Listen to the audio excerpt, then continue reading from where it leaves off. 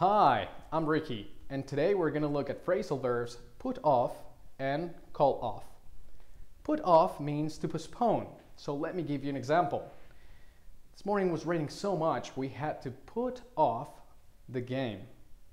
Or we had to put off the meeting because my boss was not in town. And call off means to cancel. So we could say something like, my teacher had to call the exam off because he was sick. Or the appointment was called off because we didn't have time for it. Well, now you know how to use these phrasal verbs put off and call off. Remember, to postpone and to cancel. Thanks so much for your time and we will talk again next week. Goodbye.